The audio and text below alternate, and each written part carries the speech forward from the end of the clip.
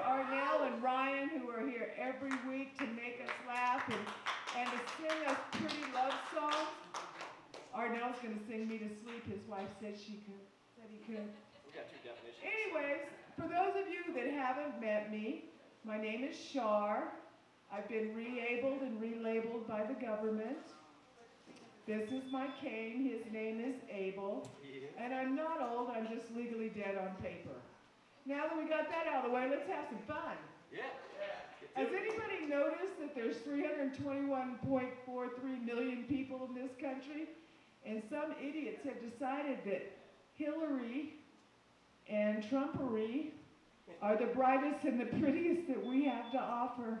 Don't you know China and Russia's going, they're our bitch now. so I think that people say that they're going to vote for the lesser of two evils. I'm just going to go straight to politics. It's like choosing between a wart on your nose or a boil on your butt, but the parties are interchangeable. And if Donald Trump builds that 50-foot wall around Texas, chief export of Mexico is going to be 55-foot ladders and 56-foot ropes, ladies and gentlemen. And Hillary, well, I think that she's a she-he with penis envy. And judging by the size of Donald Trump's hand, I think he has penis envy too. Uh, I'm getting wild now. Now, I just got back from Oklahoma, y'all, and if a red and if a southern lady, we don't sweat, we just get dewy. But if a southern lady looks at you and says, bless your heart, oh hell no, you are staring at a full-grown grizzly bear with PMS and a meat cleaver. Do not cross that woman. Just say, I'm very sorry, and back away. Do not turn your back on her. Anyways, I was in Oklahoma, and you know, certain things end up on your accidental bucket list that I wasn't expecting. Didn't know that a dog bite was on my bucket list, but it showed up one Sunday morning.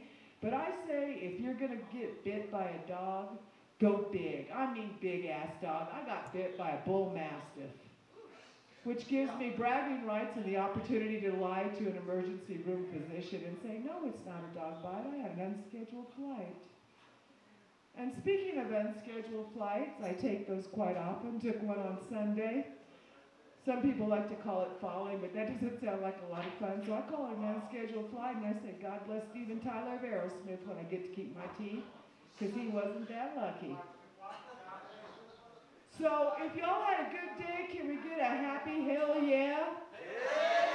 All right. And if you think the election scares you, I'm sorry, but Christmas is just around the corner. Ah! Now we've, we've missed we've missed Halloween, but I really for next year I think we should make it one holiday.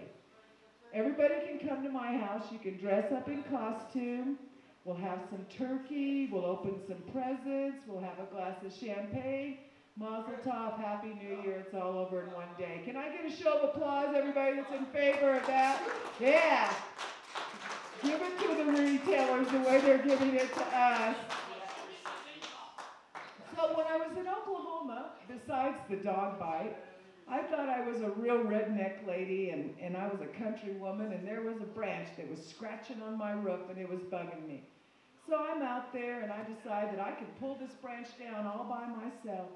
I'm reaching above my arms like this, trying to grab this branch, and I look down between my arms, and there is a seven foot black rat snake five inches from my flip flop. The silver lining, you should always look for silver lining when unexpected things end up on your bucket list. I discovered that I can not only jump straight up in the air, I can run in the air for short distances of time. So you see, every little thing that happens to you can have a silver lining if you look for it. And Arnell and Ryan, I love you guys. We've been doing this for a long time together, and they haven't asked me not to come back yet. So um, I'm, I'm open to questions. Is there any questions anyone has? Other than who to vote for, I'll tell you, I'm Switzerland. I'm voting for Willie Nelson. He's got his own party. It's called the Teapot Party. Vote for him, ladies and gentlemen. Write him in. I can understand why he wouldn't want the pay cut. But he uh, does understand the IRS and he understands the food system and he has a reasonable Colorado attitude. So ladies and gentlemen, thank you so much for your time. This has been a joy and a privilege and an honor. Thank you.